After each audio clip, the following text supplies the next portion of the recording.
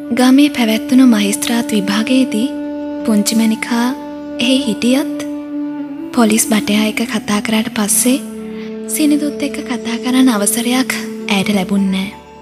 මහිස්ත්‍රාත්තුමාත් දිසා මහත්තයත් සිරකරුවත් පසුවදා හිමිතිරියම කමරු පිටිය බලා පිටත්ව කියහෙහි පුංචිමැනික හා ගම්මු අවදිවෙද්දී බැත්තේකම පුරුදු නිතිබර උදාසීන ස්භාවයම ඉසිලුවා. සිලිඳුගේ අනට කීකරුව පුළුවන් උපක්‍රමයකින් බබුන්න අපසු එනතුරු කර්ලිනා හාමිත් සමඟ ගෙදර බලා සිටිනවා ඇරෙන්න පුංචි මැනිකා විසින් කර හැකියන් කිසිවක් තිබුණේ නෑ. බබුන් සිරකෙට නියමවීමත් ඇගේ පියායට නැතිවීමත් පියාගේ ඉරණම පිළිබඳ ඇගේ සිතේ පැවති බියත් නිතර ඇගේ දුක හා තුම්නසද තියුණු කළා. තමාගේ අනාගතය පිළිබඳ බියක් ඇතුළ පැනනගන්නට වුණා. ජීවත්වෙන්න ක්‍රමයක් ඊට පිළිවෙල යොදාගන්න ක්‍රමයක් ඇයට සිතා ගැනීම පවා උගහට වූවා. බබුන්නා පහු ගමට එනකං මාස හයක් ගත කරන්නේ කොහොමද කියලා ඇයට හිතාගන්න බැරි වුණා. පුංචි මැනිකා හා කර්ලිනා හාමිටත් වේලක් කැර වේලක්කා මාස හයක් ගත කර ගැනීමට සෑහෙන තරන් ධාන්‍යවත් ගෙද ඉතුරු වෙලා තිබුණේ නෑ. තමා ඉදිරියේ මැවී තිබූ භයජනක අවිනිශ්චිත අඳුරු අනාගතය විසින් ඇව නුසන්සුන් බවට පත් කරා. මෙය ඇයට ඇති වූ තිබූ තවත් අමුතු බියක්. මේ වගේ කරුණු කීපයකින් බියටපත් පුංචිමැනිකා දවසින් වැඩි කාලයක් ගත කළේ මේ බියකරු සිතිවිලිවලට පැටලී ගෙයි පිලේ හිඳ නිකටට අත තබා ගැත්ගමම්මයි. කුඩා කල සිරිඳකුයි වනයෙහි මම්මුලා වූ දඩයක්කාරයන්ගේ කතා ඇයට සිහි වුණා. ඔවුන් එදා පියවනට ඇත්තේද අද තමාට ඇතිවී තිබෙන බියවැනි බියකෙනී ඇයට සිතුනා. එදා ඔවුන් මෙන් අද තමාද මහ වනමැද තනිවී සිටින බවත් එදා ඔවුන්ට මෙන් අද තමාටද මග වැරදිී තිබෙන සැටි තෑ දුටුවා. ඒ නිසා දැන් ඇයට කොයි මගක ගියත් එකයි. දැන් කරලිනා හාමිගේ වයිස අවුරුදු පණහක් විතර වෙනවා. කැලෑබද ගමක ගැහැනියකට විශේෂයෙන්ම වැන්දපු ගැහැනියකට අවුරුදු පණහ ලොකු වයසක්. ජීවිතයේ අවසාන භාගයකට බොහෝ ලන්න වූ වයසක්. අව්ව හා සුළඟත් වෙහෙසත් බඩකින්නත් ලෙඩදුකත් ශරීර ශක්තිය මෙන්ම මානසික ශක්තිය දුරාබොනවා. ඇගේ සම ඇටයට ඇලි රැලි වැටේ කියා ලැම වියලී ගොසින්. මේ ගම්වල ගැහැනියක් අවුරුදු තිහ හතලිහ වන විටත් මැහැල්ලක්. මෙහි කිසිම මිනිහෙක් හෝ ගැහැනියක් පරමාවිෂ වැළඳීමට සමත් වෙන්නේ නෑ. කාර්ලිනා හාමිගේ වයස අසුවට වඩා අනුවට කිට්ටුවිද කිය කියා හෝ අනුවට වඩා සියයට කිට්ටුවිද කියා හෝ කීම උගහටයි. ඇ ඒ තරම් මහලුයි. කැලෑ ජීවිතයේ ලකුණු ඇගේ ශරිරයෙහි ඇඳී තිබුණා. නිරිත දික තද සුළඟට ඇඹරවී ඇටුවන් බැහි කිය ගහක් මෙන් ඇගේ ශරිරේද නැබී ඇමිරී තිබුණා. මුහුණේ සීන්ව කිය අත්පාවලත් සම ගසක පොත්තකමෙන් ගොර හැනිව රැලී වැටී ඇටයට ඇලී ගියා. කුඹුක් වැනි ගස්වල පිටපොත්ත තැනින් තැන ඉකිලී සුදුව යන්නක් මෙන් ඇගේ සමේද තැනින් තැන දුබුරුවන් සුදු පුල්ලි නැගී තිබුණා. කම්මුල්වල මස දියවී සම ඇකිලේ ගොසින්. දත් නැති කට ඇතුළට වැදුණු දෙතුළ නාසයට යටින් පෙනුනේ කෙලවලින් තෙමුණු රේකාවක් වගේ. අප්‍රාණික පටල සහිත දෙනෙත රැලි වැටුණු නලල් තලයට යටින් සීය ගණන් රැලි අතර ගිලී තිබුණා. දෙනෙත අන්දව නොතිබුණු නමුත් පෙනීමක් නැතිසේ එය මැලවී ගොසින්. සිත මැලවී යාම නිසායි. ශරීරයට පෙර සිත නැතිවීයාම සාමාන්‍යයෙන් කැලෑබත ගම්වල ගැහැණුන් අතර බහුලව දකින්න ලැබෙන ධර්මතාවක්. ඒකාකාර ජීවිතයත් දැටි උණුසුම් වාතය සමඟ කෙලවරත් නැති ගසුත් කෙලවරක් නැති කම්කටලුත් හමුවේ ඔවුන්ගේ චේතනා ශක්තියත් කල්පනා ශක්තියත් වේතනා ශක්තියත් විලීනව මිය යන්නේය. මේ සිදුවන්නේ හොඳ දේශකුණයා නැති රටක පිරිමින් පිරිපුන් වූද ගෑනුන් දරුවන් උසුලන්නා වූද වයිසකයි.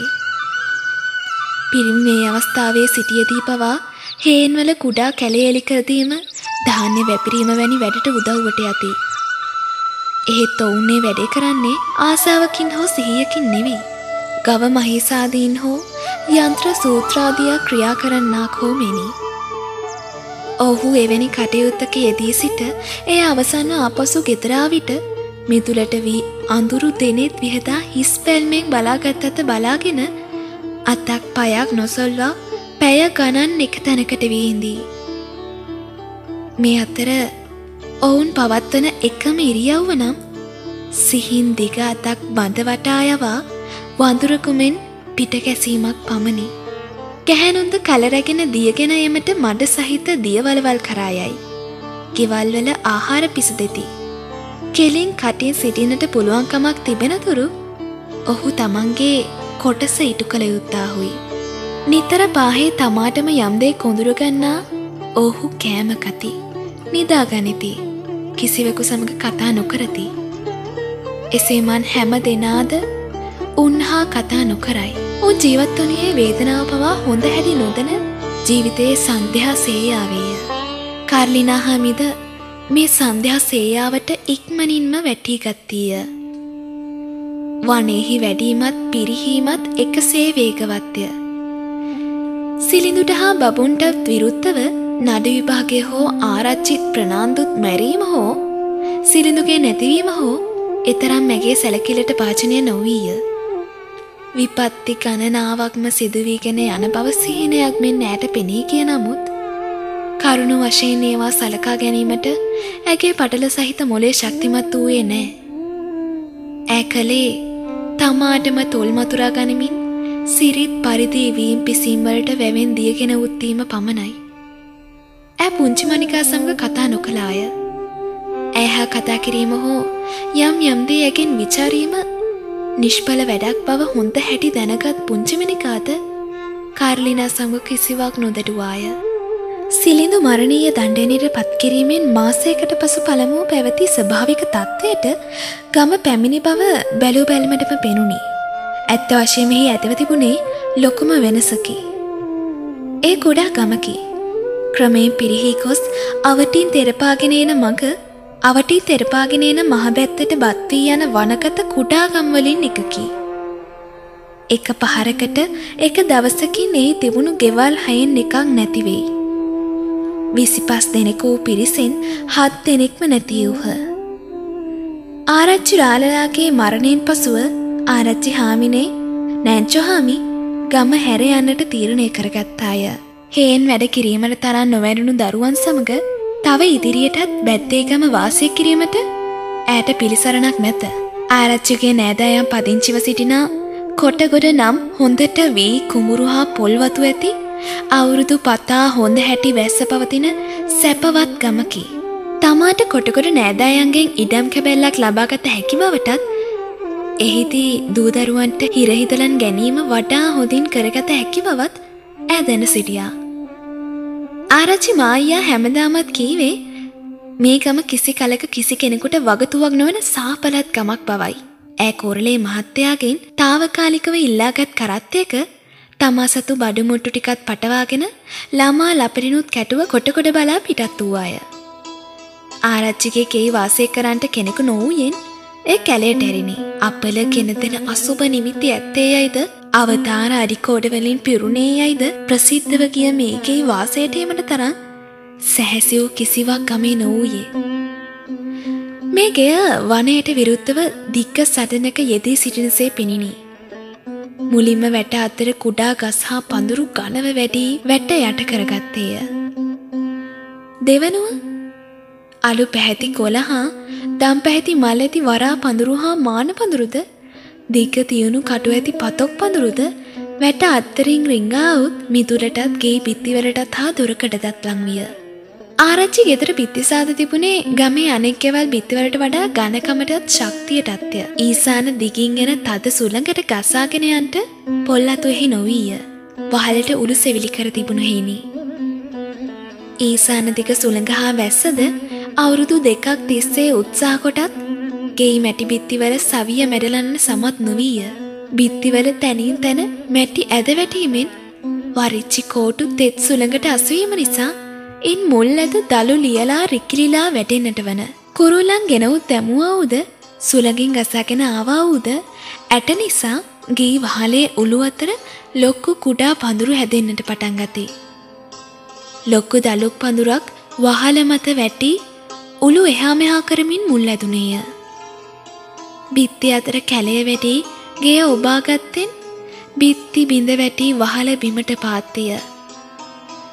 කුඩා රතු උළුගොඩ තනහා වල් පඳුරුවලින් වසා ගත්තේය.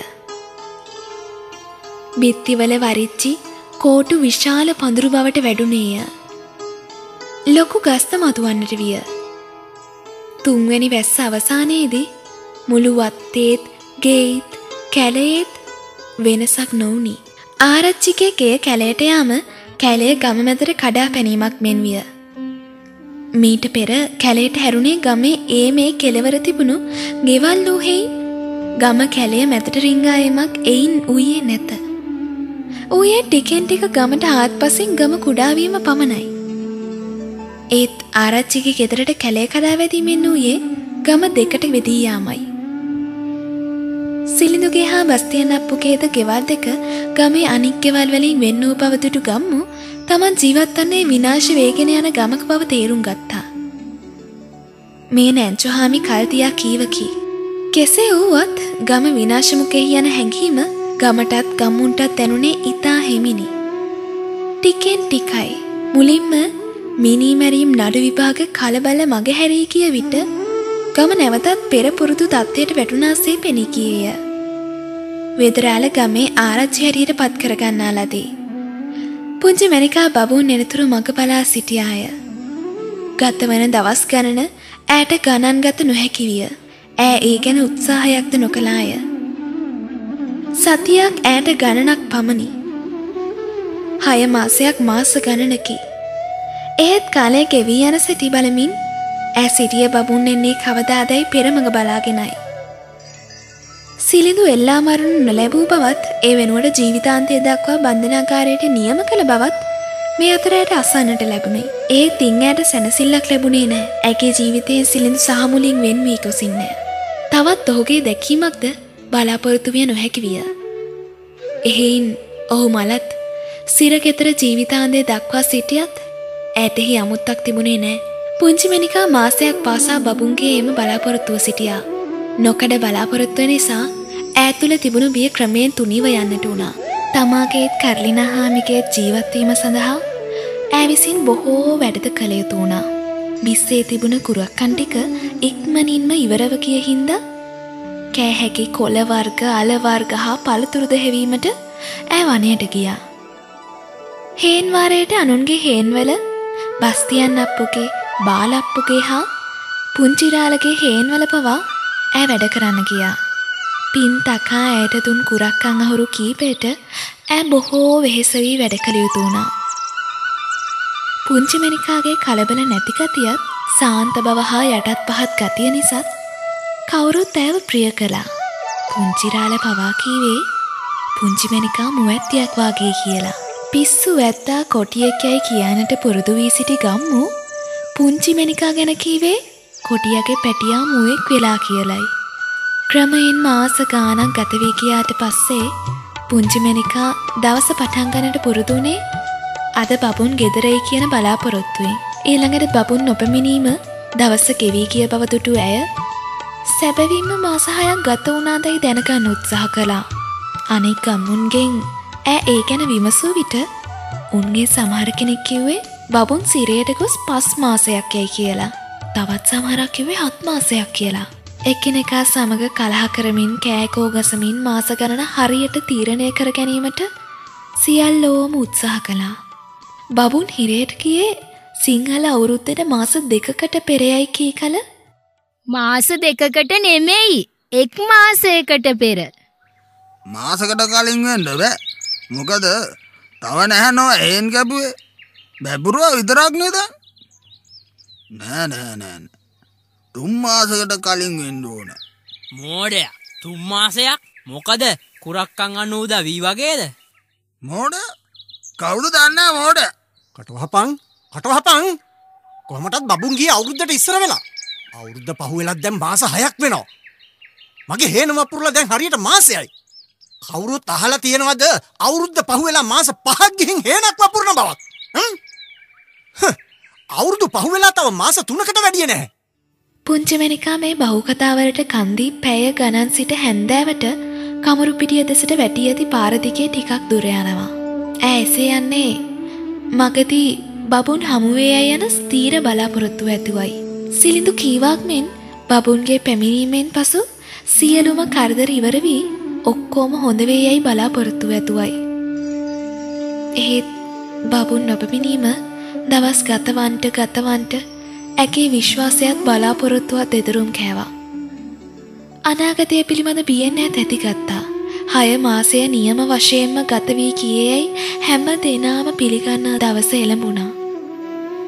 ඒත් බබුන්නම් පැමිණිය නෑ. ඔහුට කිසියම් විපතක් සිද්ධ වෙන්න ඇති. භාගවෙලාවට අසනීප වෙන්නත් පුළුවන්.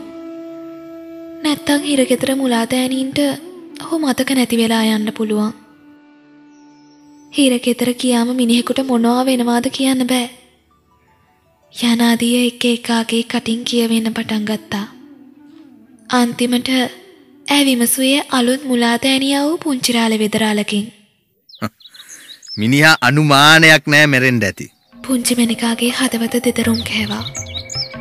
ඇ තමාගේ ලොකු ඇස් දෙක වෙදරාලගේ මුහුණට හෙල්ලූ ගමන් නොසලී සිටියා. ඔවු මං හිතනවා මිනිහ මැරිලයි කියලා. හිරගෙදරට යන මිනිස්සු උන් හිටි හැටිය මැරෙනවා. වැඩියෙන්මත් ඔය බබුන් වගේ හයි හත්ති ඇති මිනිස්සු. ලෙඩට බේත් කොච්චර තිබ්බත් කරුමට බේත් තියෙනවෑ. මිනිස්සු හිරගෙදර උන්නා හිටිය හැටිය මුල්ලකට ගිහිල්ල වැටෙනවා. මැරෙනෝ. දැන් උඹට කරන්න දෙයක් නෑ.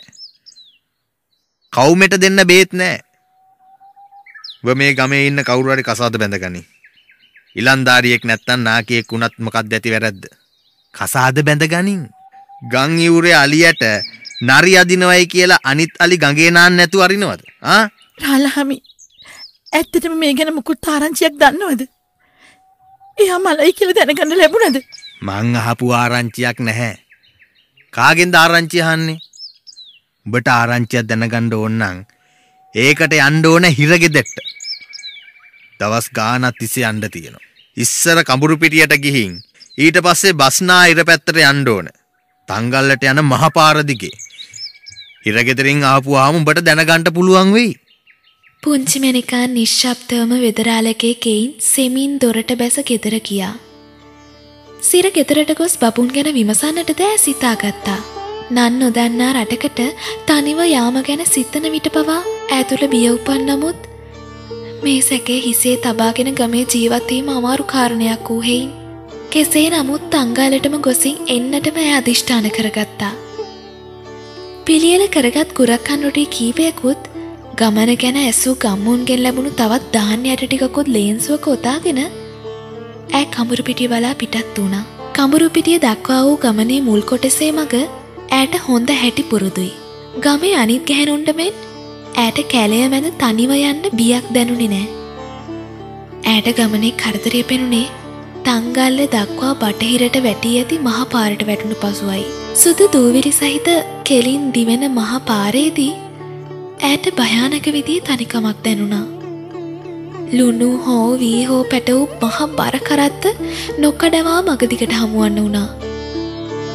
කරත්තකාරයන් නරක මිනිසුන් බව ඇ පිළිගෙන හිටියා. ඔවුන් පිළිබඳ ගම්බදව කෙරෙන දරුණු කතාවන් ඇ හොඳට අස්සා පුරුදුයි. එහෙයින් පාරේ ජීවිතය ගැන ඇ බොහෝහෙයින් බිය වූවා. නිශ්චල කැලයක තනිව ජීවත්වීම ඇයට මහකාරයක් නෙවෙයි. ඇ කැලේ දන්නවා. ඇ කැලේට අයිති. ඒත් පාරය නොකටවා ඇදෙන මිනිසුන් පෙළ නාදුරන මුහුණු පරීක්ෂණාත්මක අමුතු විලාසයකින් තමා දෙස ඇස්සි පිය නොහෙලා ෂණයකින් බලා සිට ෂණයකින් තමා පසුකොට යන ඇස් ඈමේ ඉන්නේ කෙත්තරම් තනි ලෝකයකද යන හැඟීම ඈ කෙරෙහි ඇති කරව්වා.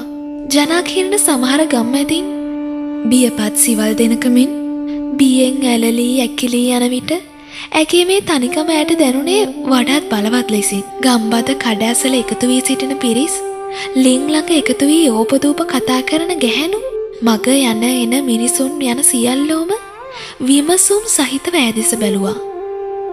විශාල ගණනක් මුහුණු අතර තමා අඳුනන එකද මුහුණක් නොපෙනුණා. කඩේකට හෝ ගෙපැලකට හෝ ලංව රාත්‍රී නිදාගන්ට ඉඩ දෙන්නේ යැයි කෙනෙකුගෙන් ඇසීමට ඇතුළ ධෛරයක් නොවුණා. රෑපවූවී බඩගින්නත් තෙහෙට්ටුවත් වැඩිවන විට මගසල කුඩා ලැහැබකට රිංගා නිදා ගැනීම මැනවී යැයි සිතාගත්තා. පුංචිමැනිකා තංගලට පැමිණෙනට පෙර ඇයට බොහෝ වෙහෙසද බඩගිනද දැනුණා. නගරයේ දැලක් මෙන් ඒ මේ අත වැටී තිබුණු පටු පාරවල් ඇකේ ප්‍රාන්තය දියුණු කරව්වා. අන්තිමේදී වෙළඳම්පරට අවුත් වැටෙනතුරු ඈ නගරයේ ඒ මේ අත ඇවිත්තා. ඒ වෙළදාම්පල ඇරුණු දවසක්. හාරසීයක් පන්සීයක් පමණූ පිරිස පටු භූමිභාගයේ කැටිවී සිටියා. එලවලු පළතුරු ධාන්‍ය වර්ග රෙද්දි පිලි හැලිවලන් ආදී නොයෙක් බඩුවලින් වෙළඳ පොළ පිරී තිබුණා. හැම දෙනෙක්ම එකට කතා කළා. එකට කෑ ගැහුවා. අත්පා සැලුවා. වෙළදාම්පලේ ශබ්දය පුංචිමැනිකාගේ බිය දියුණු කළා. එහෙයින් ඒ තැනින් වහා පලා ගොස් වෙන පටුපාරකට වැටි එයින් නගරේ මැද හරියෙන් නැගුණු කඳු පාමුලකට පැමිණියා. එහි දෙපැස ගෙවල් තිබුණේ නෑ. ඒත් කන්ද මුදුනේ විශාල ගොඩනැගිල්ලක් පෙනුණා. එහි මිනිස්සු හිටියේ නෑ. මහලු මිනිහෙක් පමණක් කඳු බෑවුමේ හිඳගෙන ගල මත වියලි තනපත්තුලමින් සිටි කෙට්ටු ඒදනුන් පස් දෙනෙකු දෙස බලාගෙන සිටියා. ගෝෂා සහිත කලබල වීදිවලින් තැතිගෙන සිටි පුංචිමැනිකා ජනශූන්‍ය නිශ්චල ස්ථානයකට පැමිණීම ගැන ආනන්දිතව එහි ඇනතියාගෙන හිඳගත්තා. එහි සිටි ඇලදෙනුන්ගෙන් එකෙක් ඉන්ද හිට කහින ශබ්දයත් වෙළඳාම්පල පැත්තෙන් යන්තමට ඇසෙන මිනිස් කටහඬත් හැර වෙන කිසිම ශබ්දයක් එහි තිබුණේ නෑ. තමා ඉදිරියේ තිබුණු විශාල සුදු ගොඩනැගිල්ල දෙස හිස ඔස්සවා ඈ බැලුවා. බිත්තිවලට හිරු එළිය වැටීමෙන් ඒ දීප්තිමත්ව බැබළුණා. බබුන් සිටින හිරකය මෙය විය හැකිදැයි ඈ සැක කරා. හාමතේ සිටින එළදෙනුන් පස් දෙනා අතර හිඳගෙන උන් මහල්ලාද ඈට පෙනුණා. ඔහු දැකීමෙන් ඈට සිහි වූයේ සිලිඳුයි. ඔහු එහි නොසැලී හිඳගෙන කඳු පාමුල පොල්ගස් දෙස නෙත් හෙලා ගත්වනම උන්නා. රැක බලාගෙන සිටි එළඳුරුන්ගෙන් මෙන් ඔහුගේද වියලී ඇකිලේ කිය සමට යටින් පිහිටි ඉලකෝටු ගණන් කළ හැකි වුණා. කලබලකාරී ආඩම්බර නාගරිකයන් දැකීමෙන් තැතිගත් පුංචිවැනිකාට දිරාපත් මහල්ලාගේ දැකීම දන්නා අදුනන හිතවතුගේ දැකීමක් වෙන්න වුණා. මහල්ලාද කැලෑවකින් එළියට ආ කෙනෙකු විය හැකි. පුංචිමැනිකා මහල්ලා ළඟට ගොස් ඔහු ඉදිරියේ හිටගත්තා. මහල්ලා වරක් ඈදෙස නෙත්හෙලා බැලුවා. පල්ලු අතුරක මුහුණත වැසී තිබෙන පටලයකට හා සමාන පැහැ ඇති පටලයකින් ඔහුගේ දැනෙත් වැසී තිබුණා. ඔහු නැවතත් පොල්ලරම දෙසටම බැල්ම යොමු කොට නිශ්චලව හුන්නා. සීයේ. අර පේන්නේ හිරගෙදරද හිරු රැසින් උද්දීප්ත මහා ගොඩනැගිල්ල පළමු වරට දැක බලන්නකුමින් එදෙස සෙමින් නෙත්හෙලා බැලූ මහල්ලා පුංචිමැනිකා දෙසට හැරුණා. ඔව්. ඇයි? මගේ මිනිහ එක ඇතුළේ වෙන්න පුළුවනි. එයා මේ හිර ගෙදරට එව්වා. මාස ගණනකට ඉස්සර. ඒක බොරු නඩුවක් එයා මාස හයකට හිරයට නියම වුණා. දැන් මාස හය පහුවෙලා ඒත් එයා ගමට ආවේ නෑ. මම බොහොම දුර ඉඳලා යාවේ මට බොහොම මහන්සි සීයේ. මම බොහොම කරදර විඳගෙන ආවේ එයා හොයන්න. එයා මේක ඇතුලේ ඇති. මහල්ලාගේ දෙනෙත් යළිත් පොල්ලරම දෙසටම යොමු වුණා. ඔහු හැලහොල්මනක් නැතුව හිටියා. උඹේ ගම කොහෙත ළමයා? මං ආවේ බැද්දේ ගම ඉඳලා. පැත්තේ ගම? ඔව්. මන් දන්නවා. බොහෝම ඉස්සරහිට දන්නවා ඒ ගම ගැන.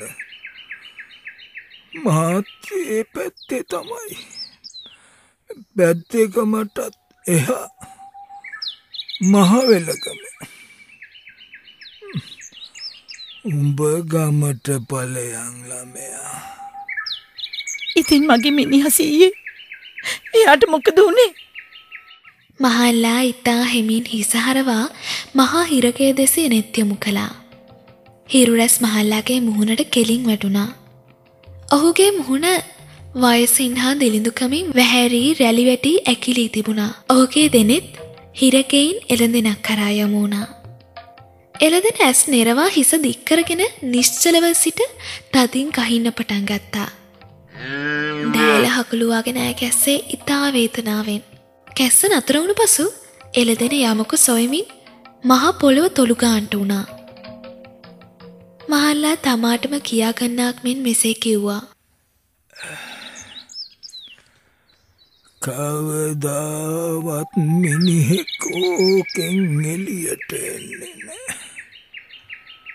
කොහොමද මිනිහෙක් ඕකේ හැතුලේ ජීවත් වෙන්නේ. හැමතිස්සෙම බිත්තිවලින් වට කරගෙන මේ ටවුන්නොල මිනිස්සුන්ට ඕකේ ගානක් නෑ. නමුත් අපි මං හොඳට දන්නවා මං මහවෙල ගම මිනිහෙක්. ඔන්න ඔය ඔන්න ඔයාහට කැලේ මැත්තේ ගමක්. අද වනත් ගමට යන්ඩ මං ලෑස්ති. නමුත් මට වයස වැඩී. මිනිහෙක් නාකි උනයින් පස්සේ හේවයි ඉඳලා වැඩක් නෑ. නමුත් උඹ ගමට පලයන්. ගම අත්තරලා යන එක මහ මෝඩකමක්. ඒවායේ හැමදාම බඩගින්නේ තමා. මන්දන්නවා මට මතකයි. ඒ තමන්ගේ පැල්පතයි මිදුලයි කැලෙයි තමන්ට නිදහසේ තියෙනවා. මේවායේ ගෝසාවයි කලබලෙයි කරදරයි විතරයි. නිම්මාවකින් නැතුව ගෙවල්. ඒත් හිරගෙදරින් අහන්න ඕන ඉස්සර වෙලම් මගේ මිනිහ ගැන ඇයි යව නතර කරගෙන ඉන්නේ ඕකට ගිය මිනිහෙක් කවදාවත් එලියට එන්නේ නෑ. හැබෑටම මන්දන්නේ නැත්ත. මගේ පුතත් ඔය හිරගෙට ගිය. තවාද වෙන්න කං ඇහැට දැක්කෙන. එයාගේ නඩු ඇහුව මේ තංගල්ලේ. මගේ අතමිට තිබුණා. හොක්කොම ඒ නඩුව වෙනුවෙන් ගියතන් කළා.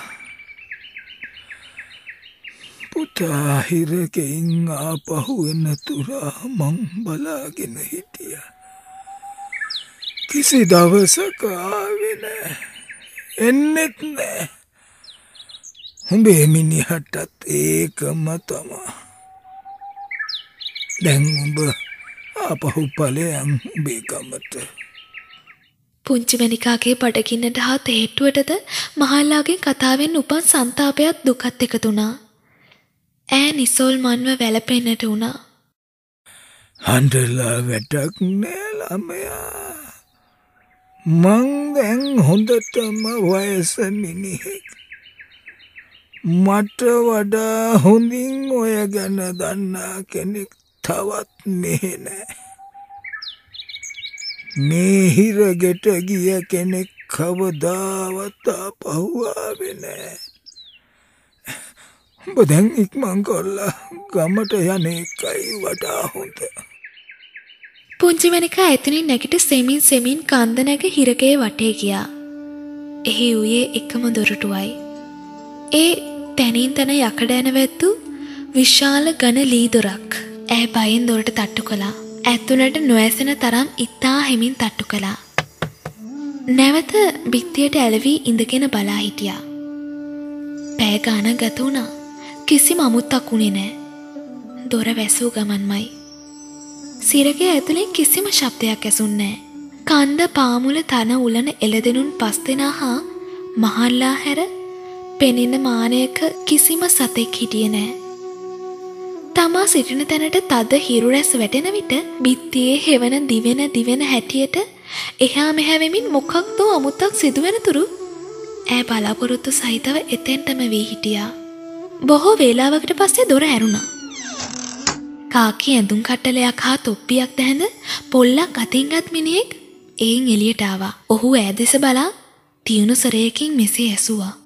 උඹ මොකද මෙතන මගේ මිනිහ බලන්ඩ ආවේ අයියා එයා මාස හයකට හිරගෙදරට එව්වා. මාස හය දැම් පහු වෙලා එයා ගමට ගිය නැහැ. මිනිස්සු කියන ඔයා මැරිලයි කියලා. ඒක ඇත්තද? මොකක්ද එයාගේ නම? කොහෙද ගම? එයාගේ ගම පැද්දී ගම. හ්ම්. නම? කොහොමද මම එයාගේ නම කියන්නේ අයියා? ඇයි මෝඩිය මොකක්දේ මිනිහට කියාපු නම? එයාට කිව්වේ බබුන් කියලා. මොන වැරද්දටද හිරේ වැටුනේ? ඒක බොරු නඩුවක් ආරච්චිගේ ගේ බින්දයි කියලා. හොහොහො. ඒ මිනිියා හරි. ඊට පස්සේ ආරච්චිවත් මැරුව නේද? ඔව් ඔව්. ඒ මැරුවේ අපේ අප්පොච්චි. ඔවු. එයත් මෙහෙ හිටිය. මේ උඹලක සල්ලියම තිීනද ගෑනියේ නැහැ අයියා. සතියක්වත් නෑ. අපි බොහොම දුප්පත් මිනිස්සු. ආ එහෙනම් අපට බෑ මෙහිදි මොකුත් කියන්න. උඹ කමුරු පිටියට ගිහින් ඒජන්ත හාමුදුරුවන්ට පෙත් සමත්දීපා අයිය දැන් කීවනේ මගේ මිනිහ දන්නවයි කියලා. ඉතින් මට කීවට ඇති වැරැද්ද මොකක්ද එයා දැන් මෙහි ඉන්නවද? එයාට මොකද වුණේ දවස් ගානත් තිස්සේ මම මෙහෙට ආවේ මේක දැනගන්න. මට තවත් කරදර කරන්න මාව එලවන්නේ ඇයි? හොඳයි හොඳයි. කරුණාව වේලිච්ච කුඹුරට වැස්සක් වගේ කියනවනේ ඒත් තුම ඉල්ලන්නේ වේලිච්ච කුඹුරට තවත් නියඟ මන් දන්නවා මිනිිය මෙහෙ හිටියා කියලා මිනිිය මෙහෙදි මලා දැම් මැරල මාස දෙකක් වෙනවා හිරපල්ලා තම කතාවෙන් බලාපොරොත්තු වූයේ හිස අත්බදාගෙන කෑගසනා ගැහැණියක්ගේ විලාපයක්. එහෙත් පුංචිමැනිකා නිශ්ශබ්දවම එතනින් ගොස් නැවතත් බිත්තිය අතර ඇනතයා ගැනීම ඕගේ මවතියට හේතුනා. සාමාන්‍ය අන්දමට ශෝකය ප්‍රකාශ කිරීමට ඇගේ සිතට වැදුණු පහර තද වැඩි. කඳුලක්වත් නොහෙලා ඇ බලා සිටියා පමණයි. තමා ගමට ආයුතු යන බලවත් හැඟීමත් තමා තනවී සිටින මේ නගරයෙන් පිටව සිය ගමට ආයුතු යන දැඩි ආශාවත් ඇයට ඇති වුණා. එහිදී තමාගේ මිදුලට වී වනරොදට පිටුපසින් හිරු සැඟව යන සැටි බලාගෙන නිදහසේ හිටිය හැකි. පුංචිමනිකා එතන වැඩි වේලාවක් නොරැඳී කන්දෙන් පහලට බැස්සා. මහල්ලා තාමත් ඒ හුන් තැන පොල් අරම දෙස බලාගත් වනම සිටියා. කවදාවත් ඕකෙන් පිටවෙලා එන්ඩ ඉඩ හම්බ වෙන්න නෑමිනිහෙකුට මංඹට කිව්වනේ. එහා මැරිල සීයේ. ඔව් ඕකට ගිය කෙනෙක් ආයෙන්නේ නෑ. බපලයන් ළමයා පහු ගමට. මං යනවා. මං යනව සීයේ